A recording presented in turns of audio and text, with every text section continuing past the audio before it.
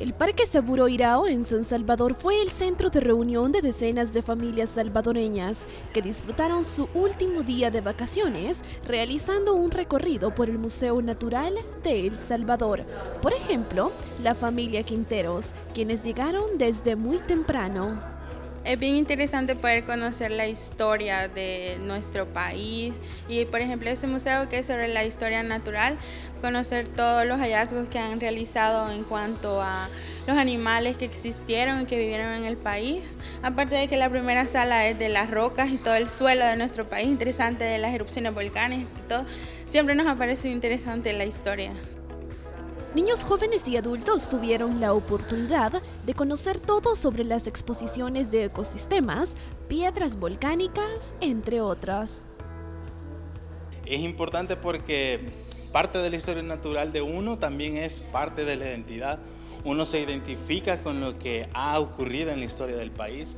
Eso también es muy importante y eso es una motivación para mí, el venir a conocer sobre cuál ha sido la historia natural del país, cómo se ha venido transformando la fauna, la flora, los ecosistemas. Además, se encuentra la pieza del mes, que en esta ocasión se trata de la rana de ojos negros. Es una ranita eh, un tanto pequeña, eh, su cuerpo está completamente de color verde, eh, sus deditos tienen los discos que, que mayormente conocemos en los anfibios, que son para poder sujetarse a las superficies.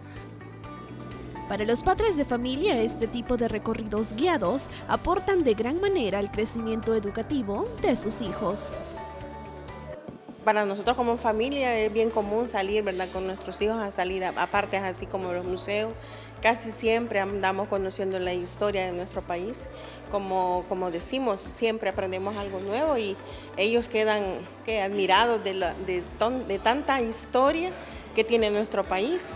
Y en vez de irlos a la playa, como les digo, vamos a, a caminar al parque, porque encontramos la diversidad de especies que podemos encontrar en, cerca de estos lugares, ¿verdad? Que es más de la naturaleza. Aparte de la eh, sala de sobre rocas minerales, tenemos nuestra otra sala de exhibición que es de la de paleontología, donde eh, tenemos en exhibición eh, animales que estuvieron en nuestro pasado, como lo son los mastodontes, mamut, tigres dientes de sable.